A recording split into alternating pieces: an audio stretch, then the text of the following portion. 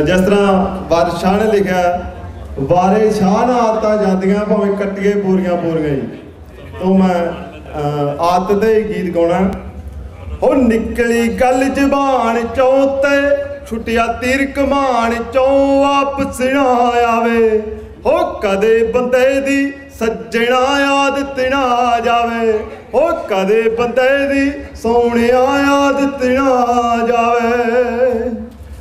ਹੋ ਕ ਡੰਗਰ ਰੱਸੇ ਚੱਪਣੋਂ ਰੋਕਿਆ ਨਾ ਹਰਦੇ ਹੋ ਕੁੱਤੇ ਬਹਿ ਕੇ ਰਾਜ ਤੇ ਫਿਰ ਚੱਕੀ ਚੜਦੇ ਹੋ ਪੱਥਰੀ ਉੱਤੇ ਬੂੰਦਣਾ ਕੋਈ ਅਸਰ ਪਚਾਵੇ ਹੋ ਕਦੇ ਬੰਦੇ ਦੀ ਸੱਜਣੋਂ ਆਦਤ ਨਾ ਜਾਵੇ।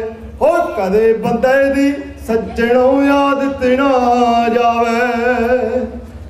ਕਦੇ ਨਾ ਗੱਪੀ ਗੱਲੜੀ ਚੁੱਪ ਕਰਕੇ ਬੈੰਦੇ ਉਹ ਕਹਿ ਜਾਂਦੇ ਨੇ, ਚੁਗਲ ਤਾਂ ਗੱਲ ਕਹਿੰਦੇ ਕਹਿੰਦੇ, ਝੂਠਾ ਬੰਦਾ ਝੂਠ ਦੀ ਨਿਤ ਖੱਟੀ ਕਾਵੇ ਉਹ ਕਦੇ ਬੰਦੇ ਦੀ ਸੱਜਣੋਂ ਆਦਤ ਨਾ ਜਾਵੇ।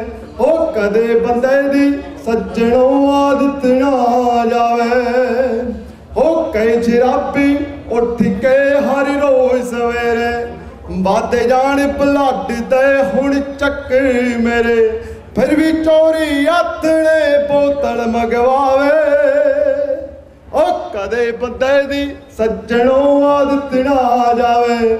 ਉਹ ਕਦੇ ਬੰਦੇ ਦੀ ਸੱਜਣੋਂ ਆਦਤ ਨਾ ਜਾਵੇ। ਉਹ ਬੁਰੀ ਮਾਰੀ ਤਾਜਦੀ ਜੋ ਸੱਟਾ ਲਾਉਂਦੇ।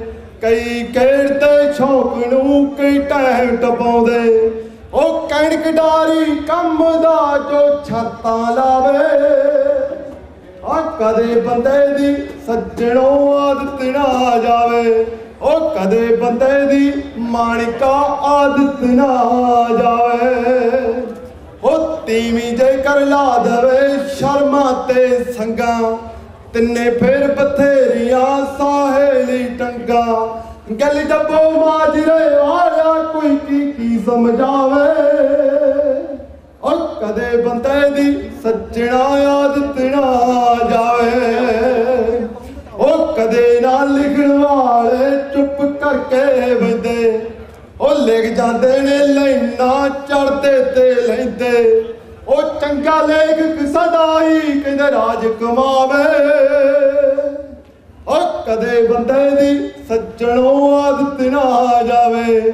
ਉਹ ਕਦੇ ਬੰਦੇ ਦੀ ਸੱਜਣੋਂ ਆਦਤ ਨਾ ਜਾਵੇ।